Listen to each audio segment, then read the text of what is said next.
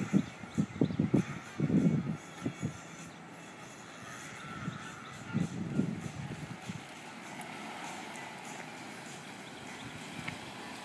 Nick, man, what up? Hey, Eric, what are you doing? Dude, I had to get another Wrangler. Wow, this one looks great. What happened to your other one?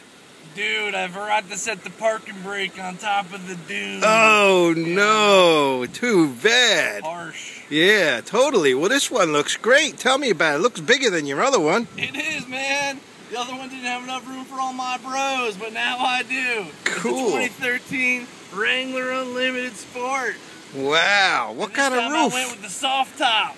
Cool. Does that come off? You know it, man. Oh, awesome. That's great. What else has gotten here? I got the automatic again. I got the Bluetooth, and this time I went for the all-weather mat, so I don't ruin my other ones when I'm all back from the beach. Oh, good. Yeah, you can dump the sand right out of them, right? Well, where do you No. get one of these cars? I got this one at Beyer Chrysler too. No way. Again? My bros there hook me up. And where is Beyer Chrysler? Morristown, New Jersey. You know Wow. Awesome. Cool. So where are you going now, Eric?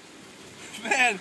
The surf waits for no man. Oh, One arm or two. Cool. Have fun, brother. I'll talk to you soon. Later, dude.